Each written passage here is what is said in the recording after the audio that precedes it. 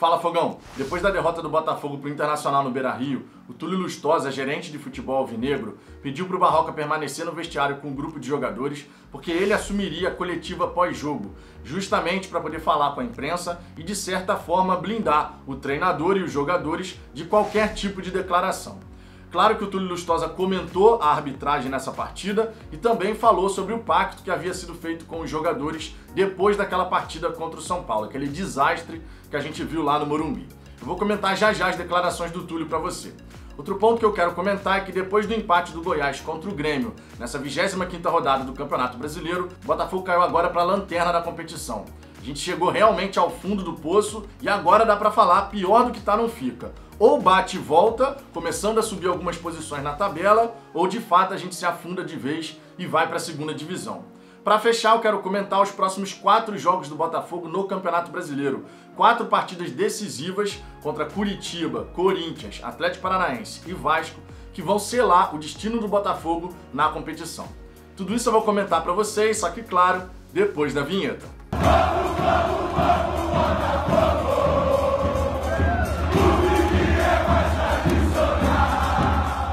Vamos, lá, Fogão, antes de mais nada, alguns pedidos. Se você gostar desse vídeo, eu peço por gentileza que você deixe o seu like e se inscreva no canal se ainda não for inscrito, para que a gente possa alcançar a marca de 4 mil inscritos.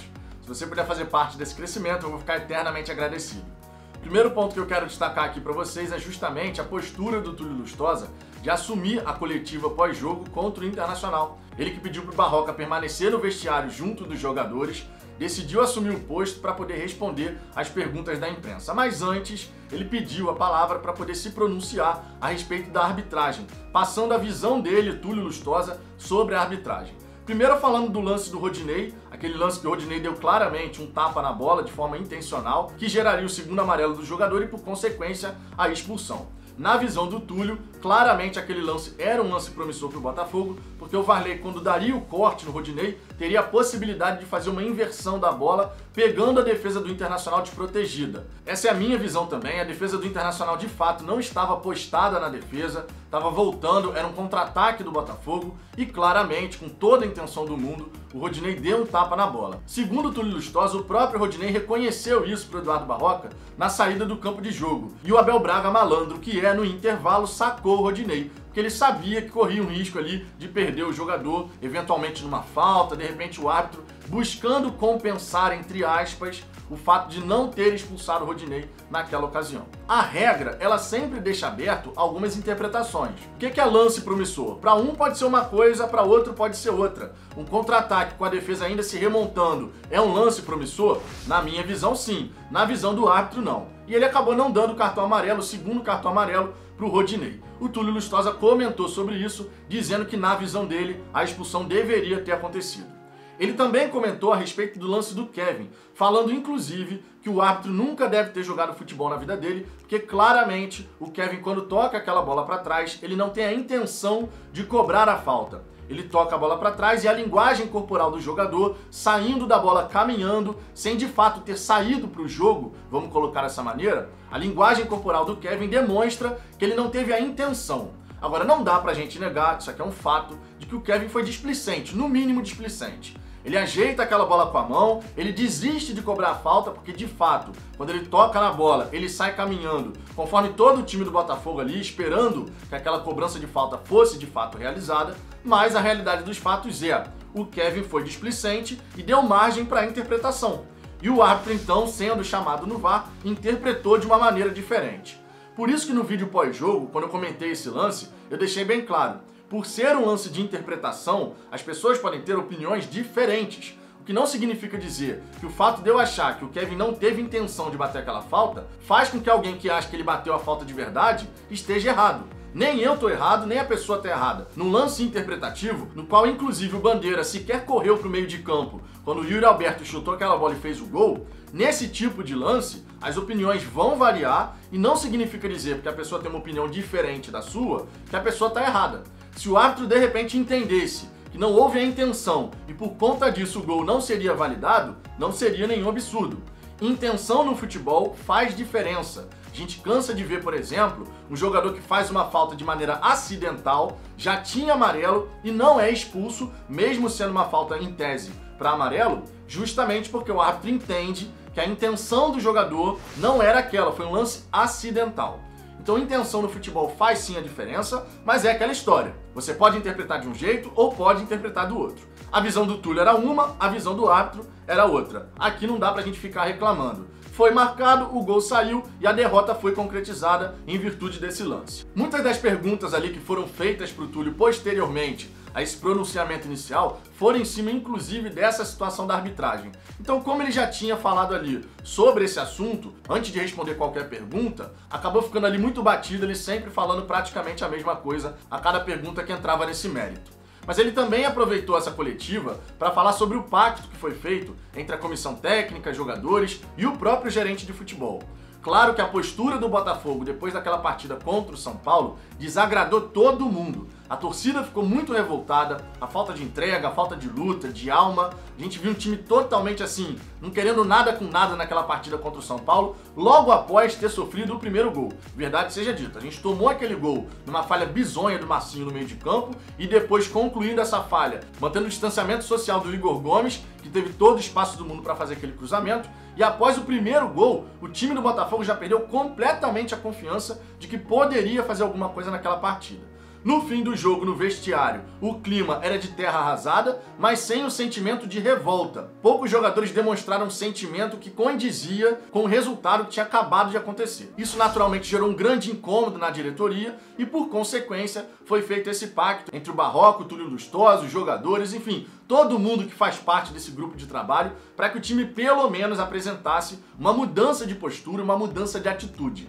o que a gente viu nessa partida contra o Internacional. A gente pode falar aqui que faltou qualidade, faltou ser mais incisivo para poder agredir mais a equipe do Internacional, mas a postura, a atitude de buscar jogar a partida, isso de fato a gente pode falar que viu. O time do Botafogo foi mais organizado, manteve a posse da bola quando tinha que manter, baixou as suas linhas de marcação quando teve que baixar, deixando o Internacional ficar com a posse da bola. Enfim, jogou o jogo. Dentro das suas limitações, jogou o jogo diferente do que a gente viu, muito diferente do que a gente viu contra o São Paulo. Então esses dois pontos aqui resumem bem o que foi essa coletiva do Túlio depois dessa partida contra o Inter. Agora, um outro ponto que eu quero destacar é justamente o fato do Botafogo ter caído para a lanterna do Campeonato Brasileiro. Depois do empate do Goiás contra o Grêmio, o Botafogo agora está na última colocação. De fato, a gente pode falar que chegamos no fundo do poço. E aí entra aquela história. Ou você chega no fundo do poço e usa isso como impulso para você poder tentar uma reação, ou você se afunda de vez e abraça a ideia de jogar a segunda divisão no ano que vem. Logicamente, como torcedor, eu espero que o Botafogo não abrace a ideia da Série B.